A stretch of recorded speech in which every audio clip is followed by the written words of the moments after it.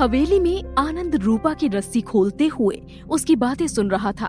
रूपा की बात सुनकर आनंद सोच में पड़ गया। उसे समझ नहीं आया कि आखिर काकी को रूपा से क्या काम? आनंद ने रूपा से पूछा। कुसुम का समझ आता है कि वो तुम्हारी सौतेली भाभी है, लेकिन आखिर काकी को तुमसे क्या काम?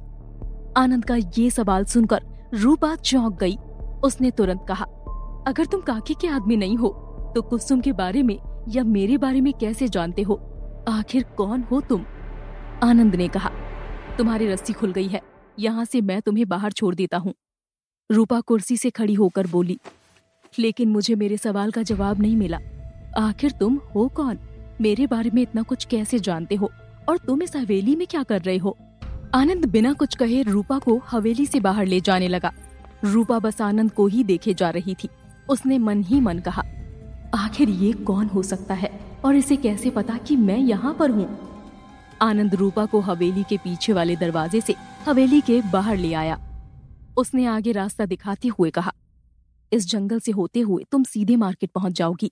ये शॉर्टकट है और यहाँ से निकलकर सीधे अपने भाई के पास जाना। रूपा आनंद की बातों पर हामी भरते हुए वहाँ से जाने लगी। तभी उसने एक बार और आनंद से बात करने की कोशिश की और कहा कम से कम अपना नाम तो बताकर जाओ। आखिर तुमने मेरी जान बचाई। आनंद ने मुस्कुराते हुए कहा, मेरा नाम आनंद है। किसी भले दिन मुझे याद करना। रूपा ने मन ही मन आनंद का नाम दोहराया। आनंद। और वहाँ से तुरंत निकल गई।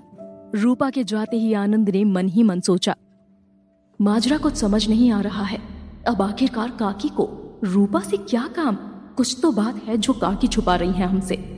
मुझे सबसे पहले इसके बारे में जाकर सुहाना को बताना होगा और साथ ही उसे कुसुम के बारे में भी बताना होगा। जहाँ एक तरफ़ हवेली के बाहर आनंद काकी और रूपा को लेकर परेशान था तो वहीं दूसरी तरफ़ लॉज में सुहाना और आदित्य रूपा को ढूँढने निकलने वाले थे। जैसे ही सुहाना आदित्य के केबिन से निकली, उनकी मुलाकात काकी से हुई। अचानक काकी को देख सुहाना घबरा गई, उसने मन ही मन सोचा, कहीं काकी को कुछ पता तो नहीं चल गया? काकी ने मुस्कुराते हुए सुहाना से कहा मुझे ऐसे घबराते हुए मत देखो। मुझे पता है तुम इस बार भी मुझे कुछ नहीं बताओगी। मैं बस कुछ काम से बाहर जा रही हूँ और मैं शाम तक लौट आऊँगी। बस ये मत पूछना कहाँ और क्यों, क्योंकि मैं भी नहीं पूछ रही तुमसे। काकी की बात सुनकर सुहाना के कलेजे को ठंडक पड़ी, लेकिन साथ ही उसे काकी पर शक भी होने लगा। तभी आदित्य ने कहा, लेकिन काकी, आप अकेले कहाँ जा रही हैं? इस पर काकी ने आदित्य की बात का कोई जवाब नहीं दिया। मानो जैसे वो आदित्य और सुहाना से नाराज़ थी। काकी के वहाँ से निकलते ही सुहाना ने आदित्य को कोहनी मारते हुए कहा, आखिर तुम्हें काकी के मुँह लगने की क्या ज़रूरत है? आदित्य बात संभालते हुए बोला, अरे सुहाना, उन्हें हम पर शक ना हो जाए, इसीलिए मैंने पूछ लिया। हमें उनके सामने नॉर्मल बनना है, ताकि उन्हें शक ना हो जाए। सुहाना ने सोचते हुए कहा, अरे हाँ तुम सही कह रहे हो आदित्य। मैं भूल ही जाती हूँ। हर बार काकी के सामने झूठ बोलना पड़ता है और जब भी मैं काकी को देखती हूँ, मेरा खून खोल उठता है। मन करता है कि बस वही आदित्य सुहाना को संभालते हुए बोला, खुद को संभालो सुहाना, अपने गुस्से को बचा कर रखो। अभी हमें रूपा को ढूंढना है। आदित्य और सुहाना लॉज से निकलकर सीधे मंदिर पहुँच गए। लेकिन मंदिर के आसपास भी उन्हें रूपा नज़र नहीं आई। मंदिर के आसपास के लोगों से भी दोनों ने रूपा के बारे में पूछा। लेकिन किसी ने भी रूपा को वहाँ नहीं देखा। सुहाना ने आदित्य से पूछा, हैरानी की बात है कि किसी ने रूपा को यहाँ देखा ही नहीं। आदित्य थोड़ा घबराया हुआ सा था। उसने इस पर कहा, हो सकता है कि रूपा मंदिर आई ही ना हो, या फिर आकर इतनी जल्दी निकल गई कि किसी ने देखा ही ना हो। आदित्य ने सुहाना से कहा, एक बार मार्केट हो आते हैं, क्या पता वहाँ गई हो। इससे पहले आदित्य कुछ कह पाता। अचानक से वहाँ उनके सामने आनंद आ गया। यूँ अचानक आनंद को देख आदित्य और सुहाना दोनों ही चौंक पड़े। सुहाना ने झल्लाते हुए कहा, तुम यहाँ क्या कर रहे हो, आनंद? आनंद हड़बड़ाते हुए बोला, मुझे पता है सुहाना, तुम मेरी किसी भी बात पर यकीन नहीं करोगी, लेकिन ये जानना तुम्हारे लिए बहुत ज़रूरी है और आदित्य तुम्हारे लिए भी. आदित्य को कुछ समझ नहीं आया। उसने कहा, ऐसी क्या बात है जो मुझे जानना ज़रूरी है? और वो जो भी बात है हम अभी बहुत परेशान हैं, तुम प्लीज़ किसी और टाइम आना। अभी हमारे पास वक्त नहीं है तुम्हारी बातों के लिए। आनंद आदित्य की तरफ़ मुड़ा और उससे बोला, ये तुम्हारे लिए जानना बहुत ज़रूरी है। आदित्य, बात तुम्हारी बहन और तुम्हारी बीवी की है। रूपा और कुसुम के बारे में सुनकर आदित्य चौंक गया। उसने आनंद से कहा कि तुम क्या बकवास किए जा रहे हो? तुमसे तुम्हारी ज़िंदगी संभाली नहीं गई? तुम मेरी ज़िंदगी में दखल अंदाजी कर रहे हो? आनंद ने आदित्य के कंधों पर हाथ रखते हुए कहा, मेरी बात तो सुनो आदित्य, मैं तुम्हारी भलाई के लिए कह रहा हूँ। आदित्य ने तुरंत उसका हाथ हटाते हुए उससे कहा, तुम अपनी भलाई पर ध्यान दो। उसी में तुम्हारी भलाई है। मेरा और सुहाना का पीछा छोड़ दो। मैं वैसे भी रूपा को लेकर परेशान हूँ। रूपा का नाम सुनकर आनंद चौंक गया। उसने तुरंत कहा, रूपा, अभी तक घर वापस नहीं लौटी? वो तो कब की निकल चुकी थी हवेली से? आनंद की ये बात सुनकर आदित्य आनंद को अपनी तरफ़ खींचकर बोला तुम रूपा को जानते हो? कैसे? तुमने रूपा को हवेली में कब देखा? सच बताओ, आनंद कहाँ है रूपा? आनंद आदित्य और सुहाना को सब कुछ बताता है कि कैसे उसे रूपा एक हवेली के बंद कमरे में मिली और कैसे उसने रूपा को वहाँ से छुड़ाया। आनंद की बातों पर आदित्य को जरा भी भरोसा नहीं हुआ। उसने गुस्से में आनंद से कहा, सच सच बताओ, आखिर तुमने मेरी बहन के साथ क्या किया है? अगर उसे कुछ भी हुआ तो मैं तुम्हें नहीं छोड़ूँगा।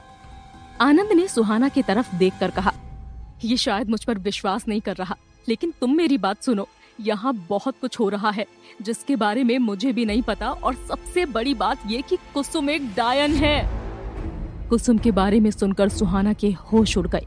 उसने हकलाते हुए कहा, ये ये तुम क्या कह रहे हो, आनंद? लेकिन इससे पहले आनंद आगे कुछ कह पाता।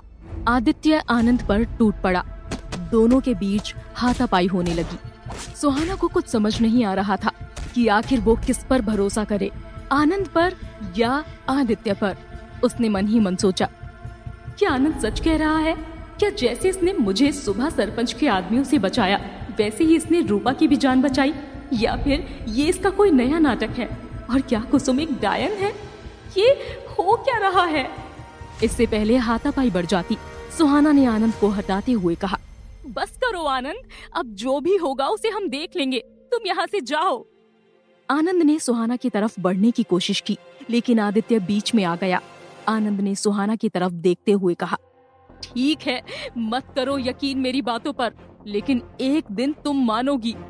सुहाना ने आदित्य को समझाते हुए कहा, आदित्य, आनंद की बातों पर ध्यान मत दो। अभी हमें बस रूपा को ढूंढना है। बस वही याद रखो। आदित्य सुहाना की बात से सहमत था। और दोनों वहाँ से निकल पड़े। दोनों मंदिर से मार्केट पहुँच गए थे। आज मार्केट में ज़्यादा भीड़ थी। जैसे मानो कोई मेला लगा हो, इस भीड़ में रूपा को ढूंढना नामुमकिन था।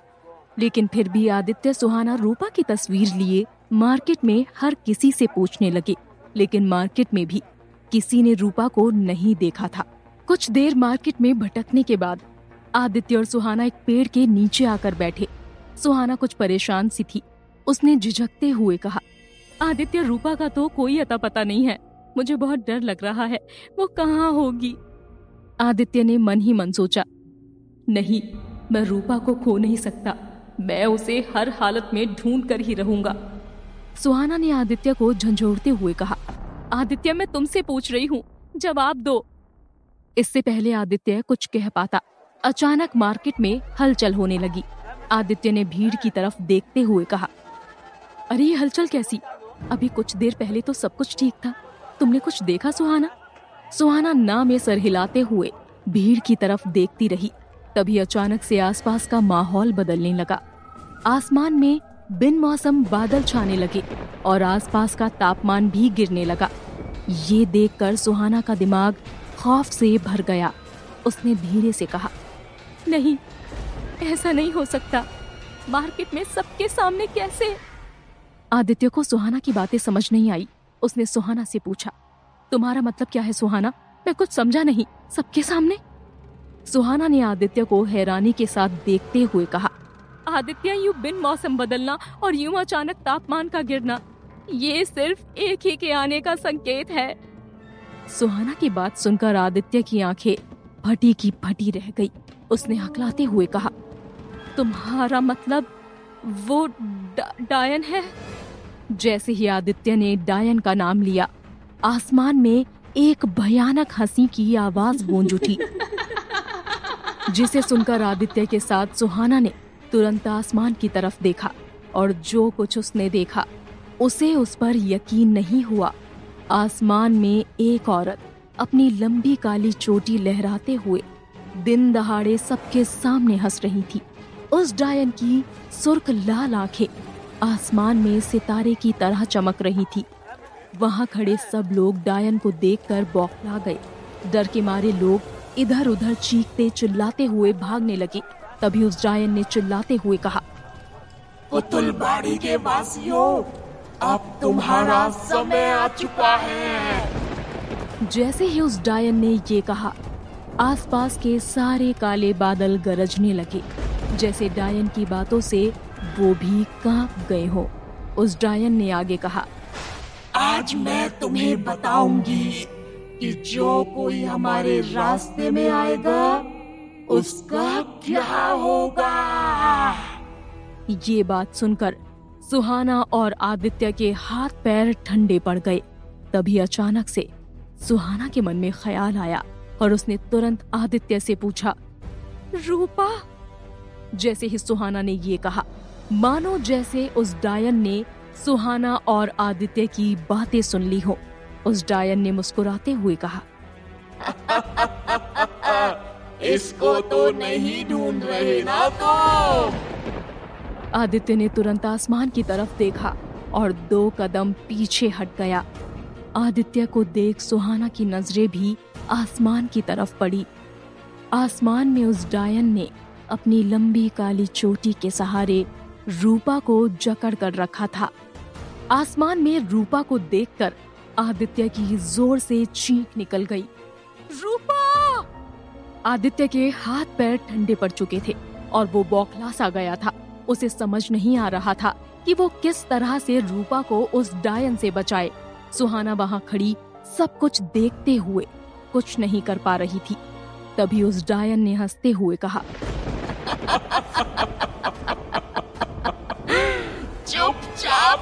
लोग अपना काम करते तो शायद आज का दिन तुम्हें देखना ही नहीं पड़ता।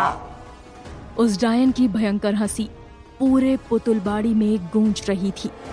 वहाँ खड़ी भेड़, बकरियाँ सब इधर से उधर भागने लगी। इसके साथ ही वो डायन रूपा को अपनी चोटी से जकड़ने लगी। हवा में रूपा किसी तितली की तरह छटपटा रही थी। नीचे खड़े आदित्य से अपनी बहन की ये हालत देखी नहीं जा रही थी।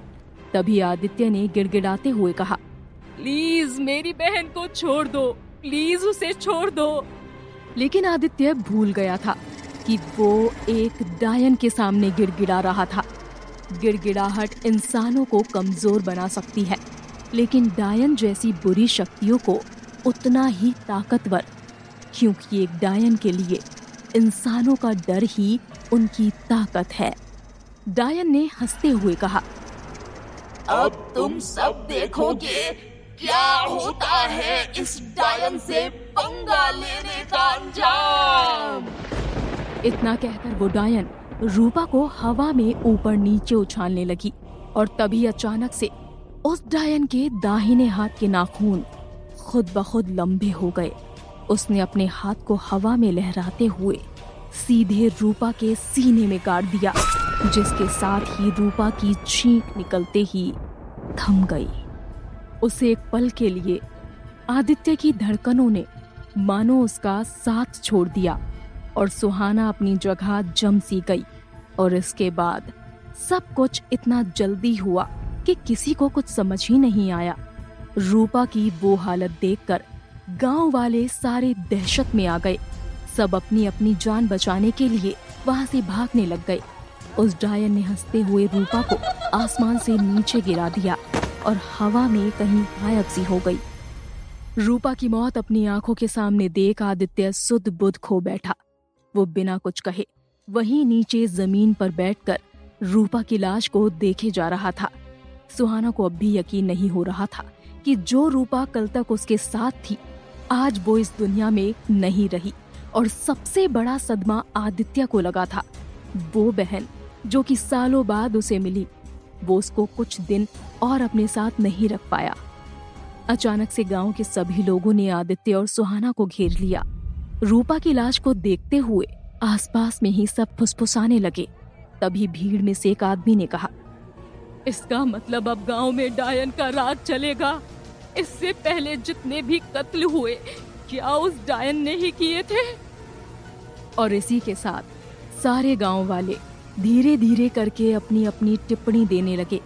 सुहाना और आदित्य बिना गाँव वालों की परवाह किए बस रूपा को देखे जा रहे थे, जहाँ मार्केट में एक तरफ़ सरेआम रूपा की मौत एक डायन के हाथों हुई, वहीं दूसरी तरफ़ इन सबसे दूर कुसुम के घर पर काकी आई थी। काकी को अचानक देख कुसुम ने उनसे कहा, आप इस वक्त यहाँ कोई खास वजह? काकी अंदर आते हुए मुस्कुराने लगी। उन्होंने कहा वही वजह जिसमें तुम्हारी दिलचस्पी छाई है तुम्हारा काम हो गया।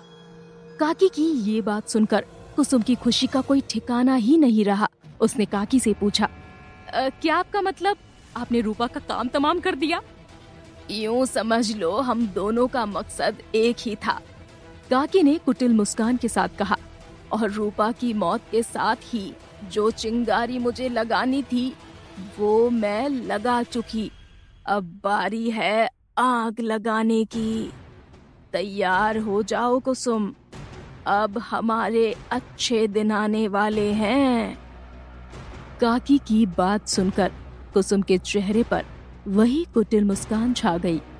तभी काकी ने कुसुम से कहा, जब हमारा मकसद एक ही है तो क्यों ना हम हाथ मिला ले? तुम मेरे मकसद में मेरी मदद करो और मैं तुम्हारी हवेली तुम्हें वापस लौटा दूँगी। काकी की बात सुनकर कुसुम के चेहरे पर एक अलग सी चमक नज़र आई। आखिर क्या करेगी सुहाना? रूपा की मौत के बाद क्या सुहाना काकी को अपने मकसद में कामयाब होने से रोक पाएगी?